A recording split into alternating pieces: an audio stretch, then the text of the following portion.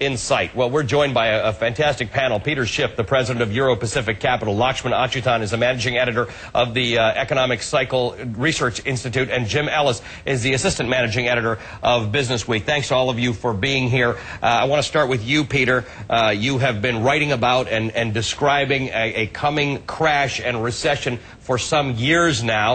Uh, I hate to say that some of the things that you've written about, as outlandish as they seem, do seem to be bearing out right now.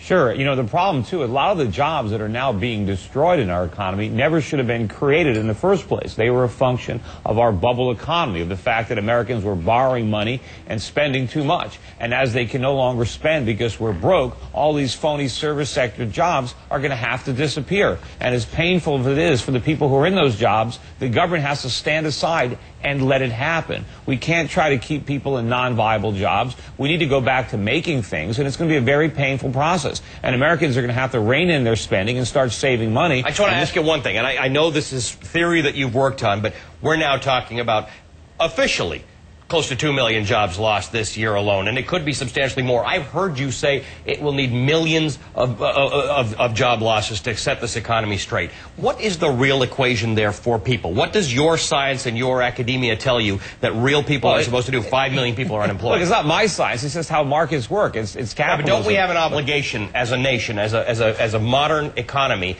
to, to make but, sure that 5 million people aren't living in tents. There's nothing that we can do. You know, the government can't create jobs. They're going to destroy jobs, jobs trying to do it. The government doesn't have any money. All they have is a printing press. We need the free market to create jobs. If the government wants to help, they should reduce their burden on the economy. We should be cutting government spending. We should be cutting taxes. We actually should be raising interest rates. We're doing all of the wrong well, things, listen, and we're going to destroy this economy. Nobody is talking about doing any of those things. You're right. I mean, and, and nobody's. And so what they're talking about doing is spending a whole lot of money yeah. in, in fiscal stimulus, and we've got the Federal Reserve doing everything that it possibly can but, to keep the economy afloat. But they're not going to keep it going. Remember, we're in trouble because we borrowed and spent too much money. We're not going to borrow and spend our way out of it. We have to do the opposite of what we've been doing. We are simply digging ourselves into a deeper hole right now. Lakshman, right. we're we're not doing what, what Peter says right. we should be doing, and no one says we're going to do that. Right. What are we doing, and will it work? Well, the one thing we're doing is we're probably cutting taxes, which, which is, I think, one of the things you were prescribing. But uh, what we are doing here is they're throwing uh, an, an, ungodly amount of money uh, at, at the economy.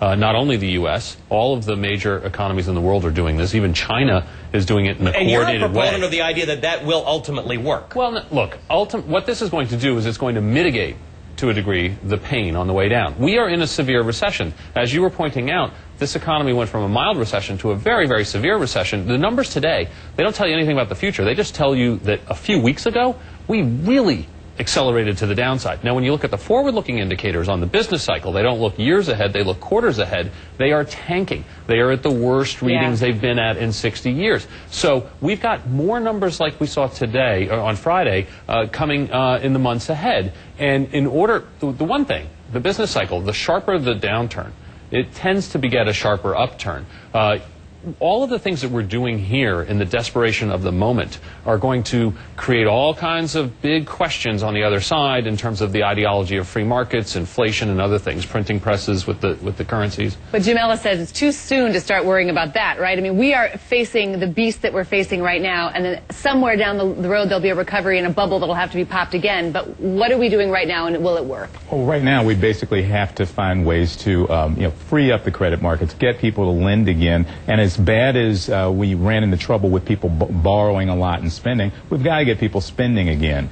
That is uh, something that I think some people, particularly um, you know sort of fiscal conservatives, really worry about. But that's a bubble to come. That's that's next year's fight or the fight after. Right now, the only thing to do is to get money coursing back through the economy, and that's going to be a real challenge for the new president, given that we're talking about doing that and, and basically accepting deficits that we haven't seen in yeah, years. Hold on, hold on, Peter. We're going to uh, have this discussion in a way uh, where our viewers can understand how they fit into it. This is a very smart discussion. You need to know where, how this affects you. Now, the big buzz this week has been about the auto industry and whether or not to give it a bailout loan that is worth billions of dollars. You'll hear what one auto CEO claims would happen. Automakers back on the Hill this week, this time seeking $34 billion to stay afloat. As far as hearings theater goes, it wasn't bad, though. They were actually getting down to brass tacks. I spoke with Chrysler CEO Bob Nardelli, who claimed that the fa- uh, failing of his company alone would mean the immediate loss of 53,000 jobs at Chrysler, plus another 140,000 jobs gone with the closing of more than